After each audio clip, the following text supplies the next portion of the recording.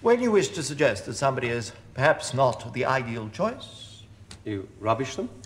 the first stage is to express absolute support. Why? Because you don't want to go on record as saying somebody is no good, you must be seen to be their friend. After all, it is necessary to get behind someone before you can stab them in the back.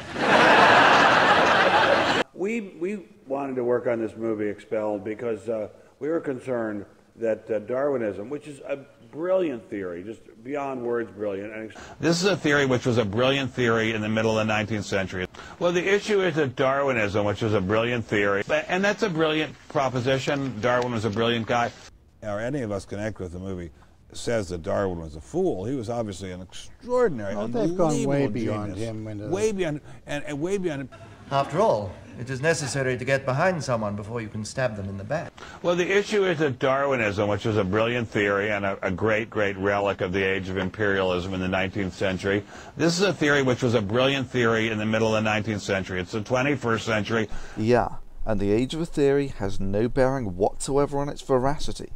Newton's theories are over 300 years old, yet they are as valid in macroscopic mechanics today as they were in Newton's time. down to its very foundations. If the most they can come up with to go against us is that they they didn't get told the name of the movie, we think we're on pretty solid ground. I mean, they should be able to come up with something a heck of a lot better. those, uh, yes, in fact, we've been extremely satisfied with the uh, reaction, especially of those who are not on our side, with those on the other side, because the most they've been able really to come up with is that when you interviewed us, you didn't tell us the title of the movie. And uh, what I say, what, what I what I say to them is, we are challenging your whole worldview. We're challenging your whole academic uh, view of the universe, and the most you can come up with to, to uh, oppose us is that we didn't tell you the name of the movie. That, there's, something there's something very encouraging about that.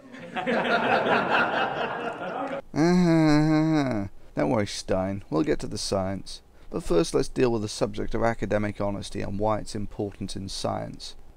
Scientists basically dedicate their lives to furthering the knowledge of mankind. Lying and dishonesty are actively destructive to this goal and are universally the quickest way to end an academic career. It's a zero tolerance policy. One strike and you're out. Now let's compare this to the conduct of Stein. A producer for Rampant Films contacted P.Z. Myers, an evolutionary biologist, stating, We are currently in the production of a documentary film, Crossroads, the intersection of science and religion. We are interested in asking you a number of questions about the disconnect slash controversy that exists in America between evolution, creationism, and the intelligent design movement. Myers later notes on his blog that now we've got this new ID creationist movie, Expelled, coming out, and there's a press release with this claim. Unlike some other documentary films, Expelled doesn't just talk to people representing one side of the story. The film confronts scientists like Richard Dawkins, author of The God Delusion, influential biologist and atheist blogger P.Z. Myers, and Eugenie Scott, head of the National Center for Science Education. The creators of Expelled crushed the globe over a two year period, interviewing scores of scientists, doctors, philosophers, and public leaders. And Stein calls this mere haggling over the title. Bollocks! If you tried this sort of thing in the peer review literature, they'd cut your balls off. No one would ever waste their time listening to you again. So, yeah, the very founding note of Stein's documentary was intellectual dishonesty. But Stein is right, this point does not deal with the academic quality or content of the film. It merely shows that those who produced this film were willing to be academically dishonest from the very first instant, and that their very first action in putting this documentary together was to violate the primary commandment of scientific investigation. Being honest matters. Now let's take a look at Stein's um, science. Two long years traveling all over the United States, all over Europe, interviewing many, many, many people who Two years of travelling the world and talking to people, eh? Wow. Well, let's see how much you've learned, shall we? had been thrown out of their academic jobs because they taught that there was a possibility of life coming from something other than Darwinist, Darwinism. Uh, what are you talking about, Steiny? Evolution doesn't say anything about the origin of life. It explains the diversity of life. Just like Newtonian mechanics explains how matter moves, not where it originated from. just like general relativity describes gravity, but does not explain the origin of gravity. In non-scientific terms, you can learn all sorts of things about music by listening to an orchestra, without actually knowing where or how any of the instruments were made. Uh, we thought that possibly random selection and uh, mutations didn't account for the universe. Uh, now Stein is just talking utter gibberish. Random selection? I think he means natural selection. But this is part of the theory of evolution. It has nothing to do with the origin of the universe. That would be the Big Bang Theory. And uh, mutations didn't account for the universe, didn't account for gravity. No, but then again, Darwin had nothing to say on gravity. Newton was the first player on that one. Didn't account for why nobody had ever seen an individual species evolve. No one's ever seen an individual Why is species God- evolve. No one has ever seen an individual species evolve. Wow, I wonder how much research Stein did on that. Merely type observed instances of speciation into Google and you'll get a web page with about 30 cases of speciation documented in about 100 articles in the peer-reviewed scientific literature.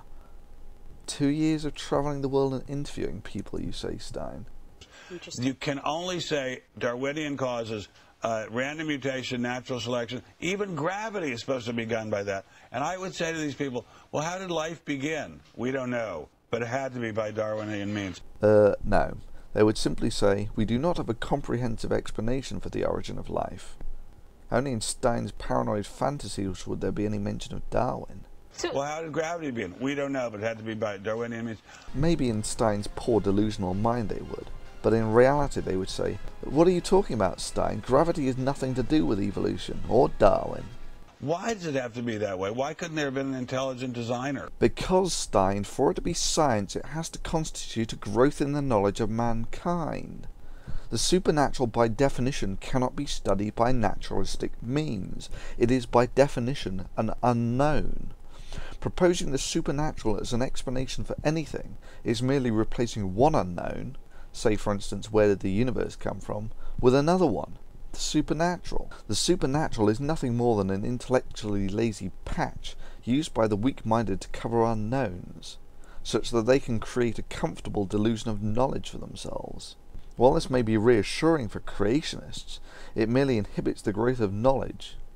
Putting supernatural stickers on everything that is currently unexplained is merely a path to an intellectual dead end. This is why scientists do not pursue this intellectually pointless exercise.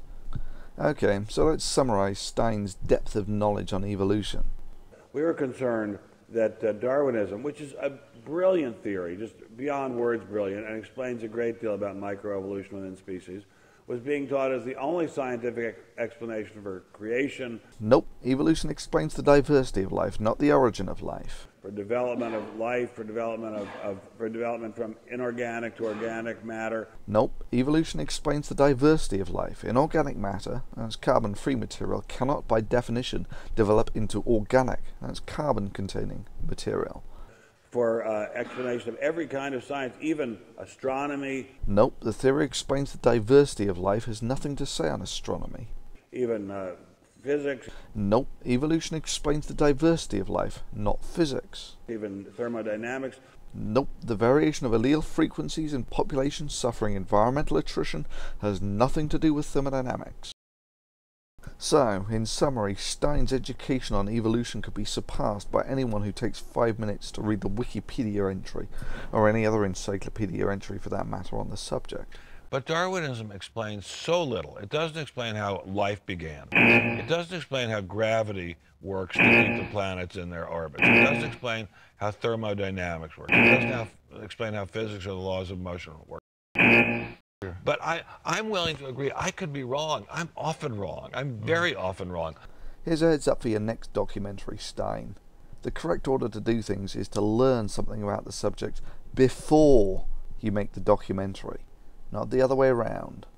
April 18th. Yes. And the movie is called It's what expelled, no intelligence allowed. Expel no intelligence. that says it all. Man, thank you so Thank much. you.